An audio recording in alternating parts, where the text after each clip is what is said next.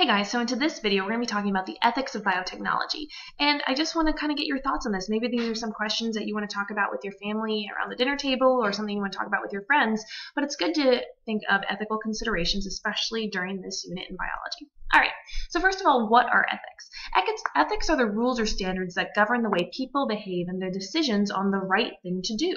There's no clear right or wrong position in ethics, as a person's individual experience, culture, education, and overall view of the world often guides the way they make ethical choices. Ethical views can evolve and change over time as society's values change too.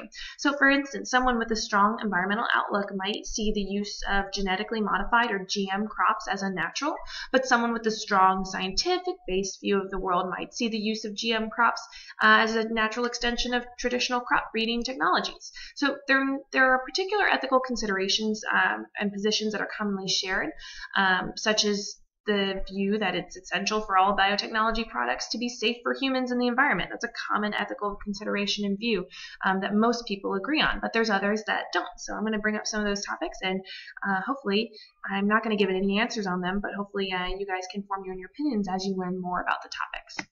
Okay. So there are particular ethical positions that are commonly shared, such, such, such as it is essential for all biotechnology products to be safe for humans and the environment. Okay, um, here's a good little uh, background paragraph, which I'm going to read to you, and then uh, you guys can sort of think about it on your own. Should BT corn be sold across the world? Yes or no? So BT corn has a gene inserted from bacteria. The plant produces the bacterial protein which kills the corn rootworm. rootworm. Before BT corn, farmers would spray pesticides to protect their crops. These pesticides would get into local water and would not last throughout the growing season, but BT corn is protected throughout the growing season. The BT corn product was tested for over 10 years in a lab and went through two years of government regulation and review before put on the market. BT corn has been growing in the United States since the mid 1990s and is still under government regulation. Okay. With those facts in mind, take a minute to think about what do you think about BT corn? Do you need more information? Um, is this not enough to make a decision on? Do you what do you still need to know? And then um, think about your position. Okay. Do you believe every product sold with a GM or genetically modified ingredient should be labeled? It is estimated that 85% of U.S. corn and 91% of soybeans are genetically modified. 70% of all processed food on supermarket shelves, like soda, soups, crackers, and condiments, contain a genetically engineered ingredient. It is very hard to have a diet that is completely GM free in today's modern society and economy. Um, so, what do you think? Do you think every product sold with a genetically modified ingredient should be labeled? All right. Take a second, think about it. Maybe you need to do some more research. Write your questions down. Okay. Do you think the U.S. government should regulate all genetically modified organisms? Yes or no? The Food and Drug Administration, FDA, is currently reviewing and regulating a genetically engineered salmon, the AquAdvantage salmon that grows twice as fast as wild Atlantic, Atlantic salmon. This fish will be sold for people to eat. However, a new genetically engineered pet fish called the GloFish is not regulated. And we talked about this when we talked about GFP.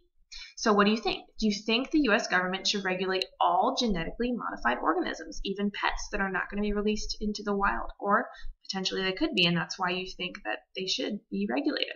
All right, take a second and think about it. Okay, this is an interesting one. Researchers have injected human genes into the fertilized eggs of domestic animals, for example, pigs. One reason for making such a pig is to make drugs in the milk of the pig. Another reason is to make internal organs adapted to humans.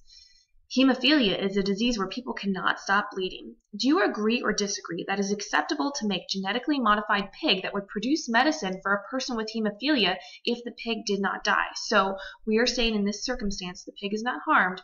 Do you agree or disagree that it is acceptable to make a GM pig that would produce medicine for this person or these people with hemophilia if it was possible? All right.